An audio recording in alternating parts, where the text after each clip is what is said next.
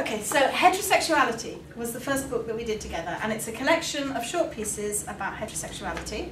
And we did it because there had been a great many um, short pieces and special issues and um, single chapters, token chapters as I referred to them, on lesbians in this sort of sea of heterosexuality that was unexamined, unexplored, taken for granted. And then lesbianism was always a thing that was the special thing, the, the special chapter, the special feature, the special issue. And we just thought, let's reverse that. Let's take the thing that's taken for granted and make that the object of inquiry in a similar sort of way to the way in which some black theorists have done about whiteness, for example. Mm -hmm. Yeah. And we should also say that the personal was political, that it was very shortly after I had come out as lesbian in midlife, having spent my first 36 years as a happy heterosexual. So I was thinking, and together we were thinking about what's the difference and how can it happen and that was kind of an, an undercurrent too. So it was a very productive collaboration in the sense that we did come at heterosexuality from very different perspectives, me never having been one. um, and me having recently relinquished it. And become very aware of what you'd relinquished in terms yeah. of power and privilege and, and the expectations that the world had and how utterly different it was to identify as lesbian and how instantly that locked you into a set of oppressions that were were very distinctive. And that you mm. hadn't known about before. Yeah. Oh, I remember you talking to me um, some years earlier at a conference.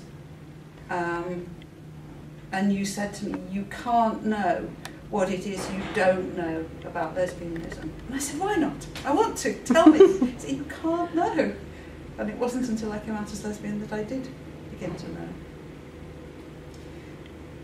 So one of the things we did for the special issue was we sent letters out to eminent feminist psychologists that we either knew were heterosexual or presumed on the basis of whatever. So one of the things that we did in preparing the, the special issue in the book on heterosexuality was that we wrote letters to people that we either knew or presumed to be heterosexual working in psychology, in feminist psychology, and we asked them to address questions about heterosexuality like, why is it so common? When did you first realize you were heterosexual?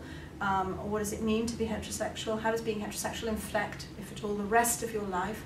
Um, what does it mean for your feminist politics that you're heterosexual? Um, could you imagine not being heterosexual? Why is it so difficult for many people to change? And um, we got some very interesting responses, um, ranging from people who felt extremely insulted at, at, the fact that we'd even raised those questions, um, through to um, people who said they'd have to lie down with an ice pack on their head for a year to come up with the answers, through to the brave people who actually had a go at answering the questions however adequately or inadequately. And there um, were a surprising number of them, and, and quite a few of them were surprisingly eminent yes. feminist mm. psychologists. Yes. So I think I didn't quite realise at the time how much of a threatening exercise it was experienced as being. I'm kind of feeling more um, admiring of them for doing it now, mm. in hindsight,